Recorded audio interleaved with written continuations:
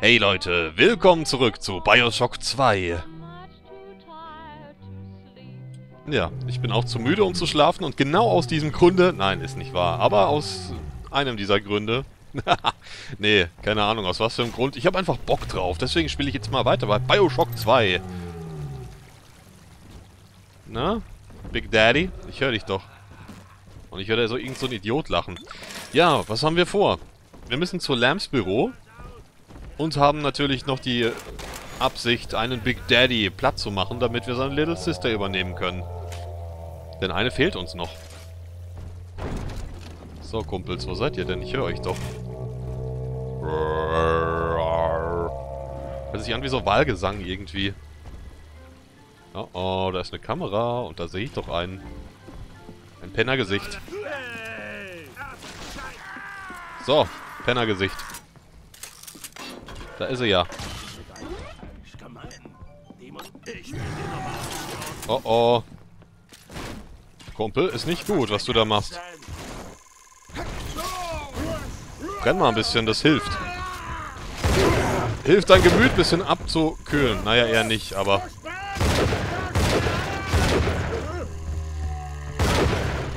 Nein, nicht jetzt. Mann. Oh yeah, Antipersonen ist immer gut. Nein, viel zu wenig. Es ist viel zu wenig. Schweinebacke. Mann, oh. Schon wieder keine Heckpfeile mehr. Und wir machen es blau. Weil blau ist schöner. So, du Arschbacke. So, mal vorbei hier. Ich möchte meinen Speer wieder. Das ist gut, dass man die Speere wieder kriegt, finde ich. Auch wenn die... Ach. Oh, toll, Eve. Jetzt, wo ich keinen Eve brauche. Auch wenn die Pfeile nicht so wirklich rar sind. Also diese Bolzen, ist es doch ganz gut, dass man die immer wieder kriegt. Na, ich brauche eigentlich gar nichts. Was, da geht's nochmal hoch? Okay. Äh, was haben wir denn hier? Was denn? Das wir da ran. Achso, das ist normale Muni. So, erstmal weg. Und Panzer brechen. Sehr schön, sehr schön, sehr schön. Dann weiß ich auch schon, mit was ich den Big Daddy einheizen kann.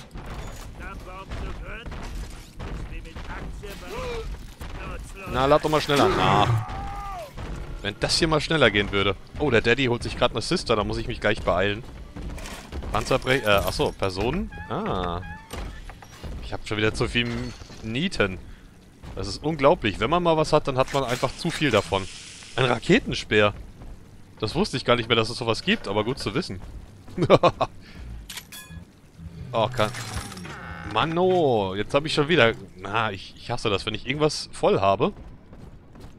Aber das auch gleichzeitig etwas ist, was ich eigentlich sehr gerne nutze, also Autohack-Pfeile. Da muss ich dann nochmal wiederkommen.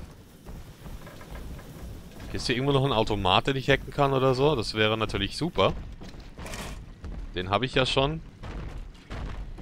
Gibt es irgendwo Munition oder sowas? Munition. Ich glaube, der holt sich hier keine Little Sister mehr. Das ist ziemlich schade. Das ist sehr schade. Dann würde ich sagen, ich gehe doch gerade mal zurück. Ah ja, da gibt es auch noch was. Weil ich glaube, hier in dem Abschnitt, da gab es noch eine Little Sister letztes Mal. Die habe ich ja nur nicht ausgeplündert. Au. Also beziehungsweise zum Plündern geschickt. Warte mal, das mache ich mal eben. Peng. Und meins. Und jetzt kann ich mir wieder einen Autohack-Pfeil dafür holen. Ist toll, ne? So, hier war doch die Sister. Die habe ich aber stehen lassen. Oh, das sind noch meine Fallenminen. Das ist ja... Ja, das ist voll. Na, wo bist du, Kumpel? Raketenspeer, es ist so gut. Heul nicht. Nur weil du hässlich bist. Aber wie die auch gleich heulen, oder? Ach, da ist ja noch, die Sister. Oh, den habe ich festgepflockt. Komm, Sister. Das wusste ich gar nicht, dass die hier stehen bleiben, wenn man sie nicht mitnimmt. Ich dachte, die gehen dann wieder. Oh, oh ich höre überall Idioten rumlaufen, aber... Na, ich nehme mal die lieber. Mit dem Speer, da reicht zwar ein Schuss, aber nicht unbedingt. Wenn man nicht trifft, dann lädt man da ewig nach. Es ist halt einfach viel zu viel Zeug hier noch am rumliegen, ihr seht es. Und ich weiß nicht, wenn ihr das wisst mit den Verbandskästen und den Eve-Spritzen. Ist das wirklich so, je höher der Schwierigkeitsgrad, desto weniger kann man mit sich rumtragen? Habe ich zumindest jetzt mal gedacht, dass es so ist. Ich weiß nicht, ob es stimmt, aber... Was ist denn die Leiche, die ich hier mit aussaugen kann? Leiche, Leiche. Äh, lacht schon wieder jemand, ne? Der dumme Automat. So, warte, das mache ich mal so. Da ist sie nämlich, die Leiche, das wusste ich noch. Zack.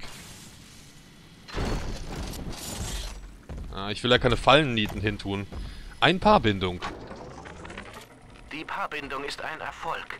Entfernt sich ein Exemplar der Alpha-Serie aus irgendeinem Grund zu weit von seiner Little Sister, kommt unsere physische Sicherung ins Spiel. Ein chemischer Auslöser, der zum Koma führt. Es ist eine symbiotische Beziehung, erzwungen durch die Pheromonstruktur des Mädchens. Das erste erfolgreiche Modell war Delta, glaube ich.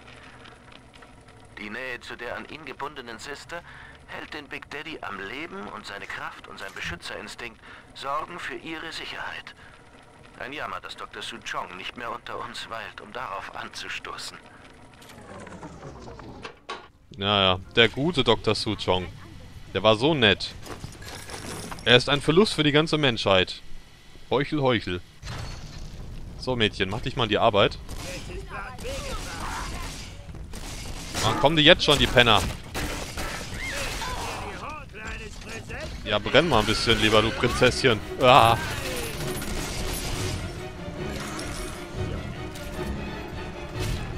Oh oh.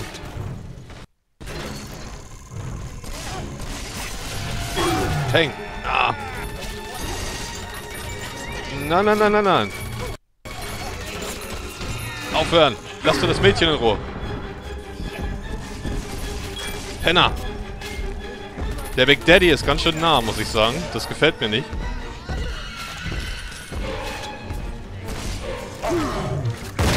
Das gefällt mir nicht, dass ihr so nah kommt, Leute.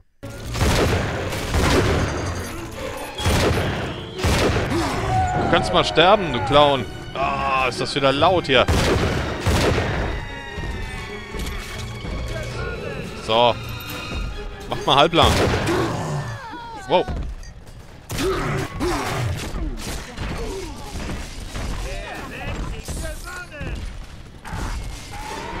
Aufhören.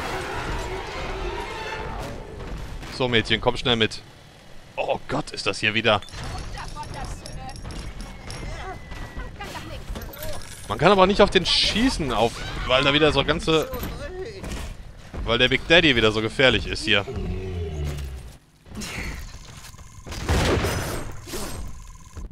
So. Schweinebär. Die gehen mir voll auf den Keks, diese Typen. So, wo geht's denn hin? Also leichenmäßig. Aha. Aha. Ich habe ja auch versprochen, dass ich alles ein bisschen besser absuchen werde. Ich will nichts auslassen. Was? Wo geht das denn hin? War ich hier oben nicht schon? Na gut, ich kann ja die Leichen nicht sehen, wenn ich keine Sister dabei habe, die sie spürt. Die sie aufspürt.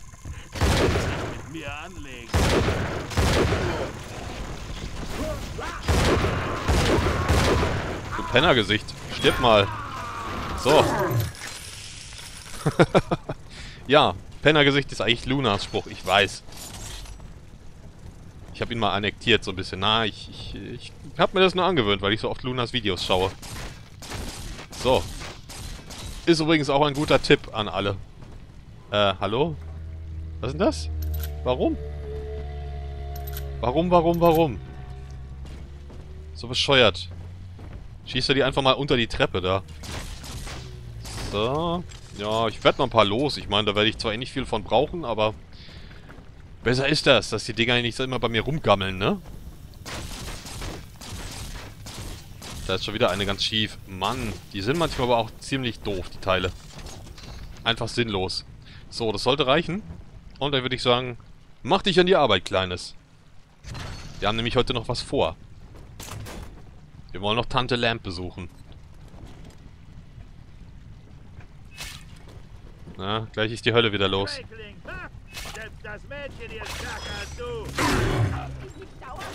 Deine Mama ist stärker. So.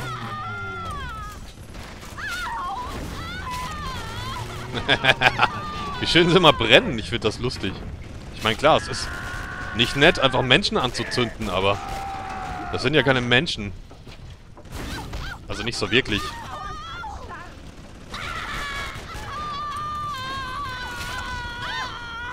Warum kommen die alle nur von einer Seite? Ich dachte, die kommen auch von hinten. Sich aber auch alle gegenseitig anzünden. Das ist... Hey. Ist zu lustig gerade.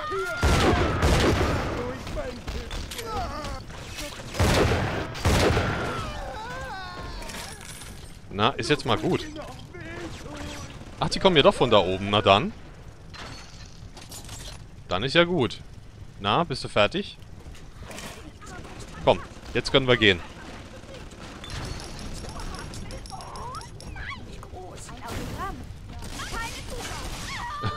Keine Zuschauer. Ein Autogramm. Ihr habt's ja nicht mehr alle. Als würde ich von dir ein Autogramm wollen, du alte tote Zippe.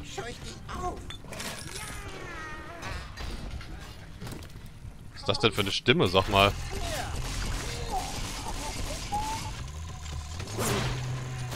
Da brenn mal lieber ein bisschen. du Penner. So, warte mal. Dann haben wir nämlich wieder ein bisschen Platz. So, wunderbarst. Ist aber auch eine Qual mit den Typen, mal ehrlich. Da unten ist der Gatherer's Garden, aber bevor ich da jetzt wieder runterspringe sinnloserweise, will ich hier noch alles einsammeln und hier erstmal schauen. Da ist nämlich noch was. Ah, ein Safe. Zack, zack, zack, zack. Und den blauen will ich gerne. Zack. Ah, toll, schon wieder Autohacker. Warum, warum, warum so viel Autohacker? Egal. Lärms Operation.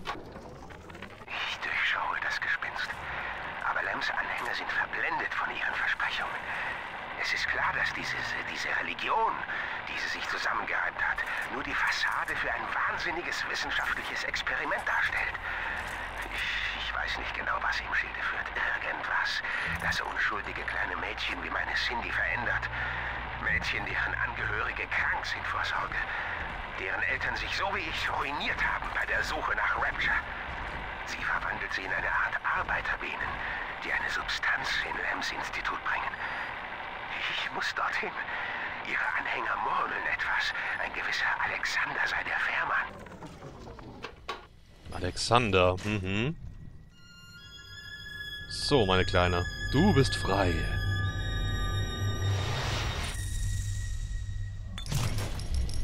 Ach, ist es nicht schön. Wie viel Adam ich habe. Oh Gott, ich hab's gewusst. Diesmal denke ich dran, Leute. Diesmal denke ich ans Fotografieren. Oh ne, oh ne, oh ne, oh ne, oh ne. Ach, ich habe ja gar keine mehr. Ha! Das ist ja schön. Oh Gott, wo kommst du denn? Du Schabracke? Nein. Oh Gott. Da ist sie ja. Oh. Was? Steiger das maximale I? Das ging ja schnell.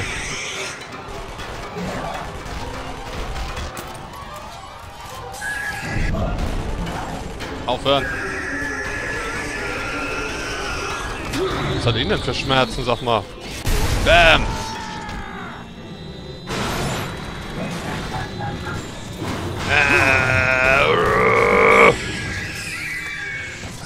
Hast du gesehen, wie das geht? Meine Liebe. Ja, irgendwie war es jetzt doch nicht so schwer, oder? Ich habe die ein bisschen schwerer in Erinnerung. Die lieben Big Sisters. Aber ist auch gut so. Dann habe ich da nicht mehr so viel Trouble mit. Ich habe jetzt so viel Eve, seht mal. Äh, Adam meine ich doch. Was nehme ich denn? Ich nehme mir auf jeden Fall mal einen Elektrobolt 2.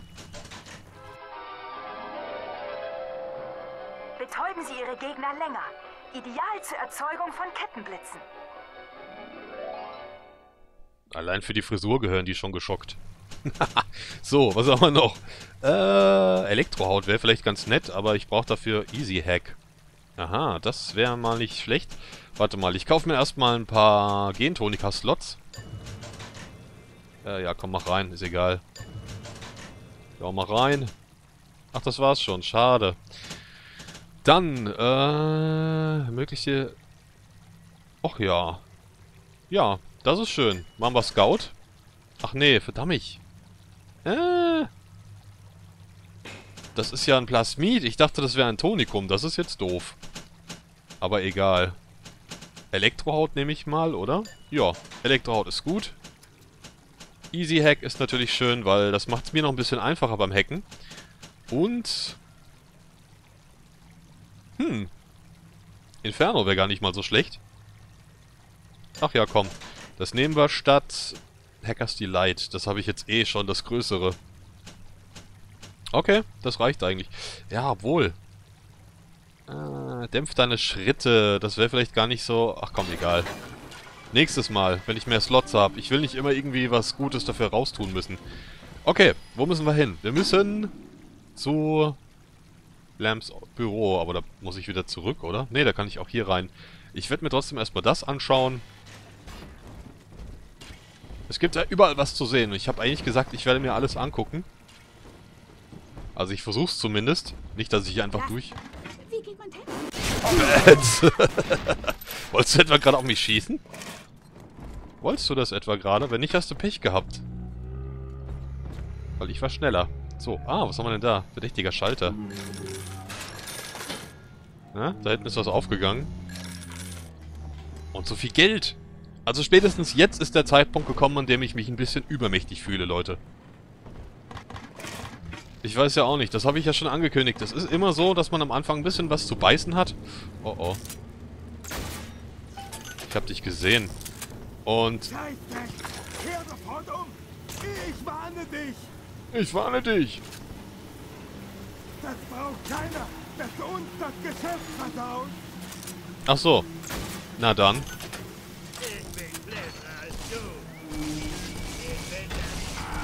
Das glaube ich aber nicht, dass du das bist. Dann wärst du nicht einfach so in mein Feuer reingerannt. So. Warum ich das mache? Ja, weil ich kann und weil ich genug hab davon. Ihr seht's ja. Uh, Antipersonen ist schön. Ja, ich hab die Kohle, von daher. Na, jetzt kaufe ich mir gerade den Autohacker wieder. Sehr clever, ne? Egal. ich mach das einfach.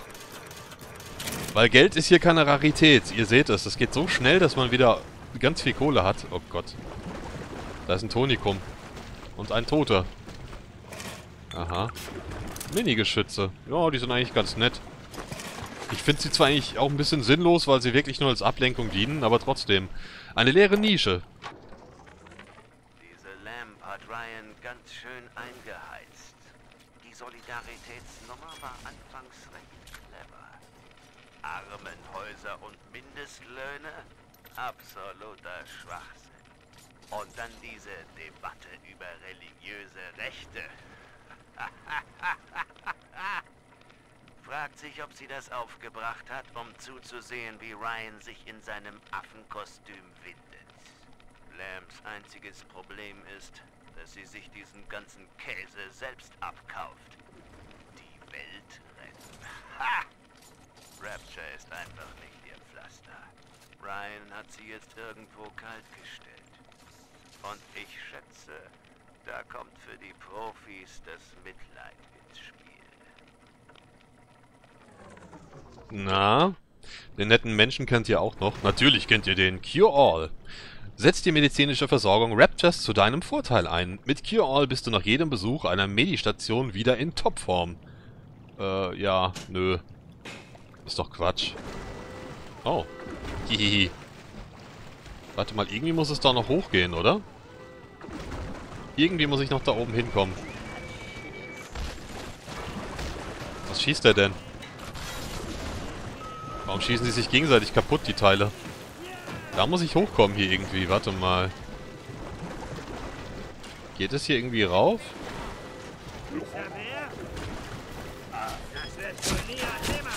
Aufhören. Ja, Kumpel. Du sagst es. Ach so, ja, einfach außenrum vielleicht, ne? Was? Leiche fotografiert? Was? Ich dachte, der springt jetzt gleich auf. Wie so ein Springschwein halt. Das mich wieder nur verarschen will. Von wegen, dass er tot ist. Was gar nicht stimmt. Ja. Das war jetzt nicht so spektakulär, wie ich gehofft habe, aber ein bisschen was gibt's ja überall. Oh. Aha, aha. Es lohnt sich. Pfeif drauf. Ich brauche nicht mehr Kohle, die ich nur durch das Hacken rausgekriegt hätte.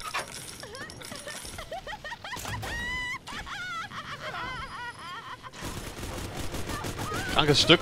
Lach nicht so.